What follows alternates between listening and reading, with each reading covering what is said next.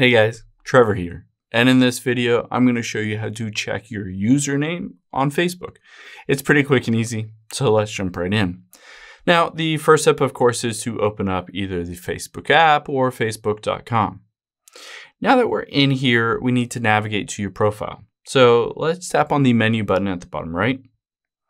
And at the top left, you'll see my profile icon. Let's tap on that.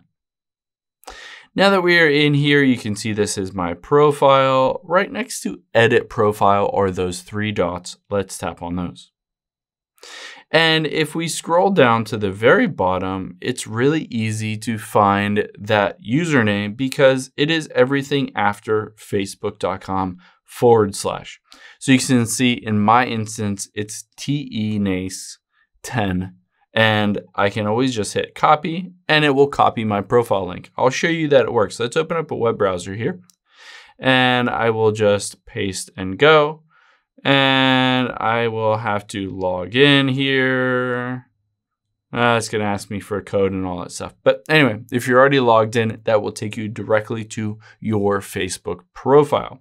So keep in mind, unfortunately, it's easy to go through the process of changing that for a page but it is not very easy to change that for a personal profile. I hope this helps. If it did, hit the subscribe button down below. It really helps me out. And I'll catch you on the next one.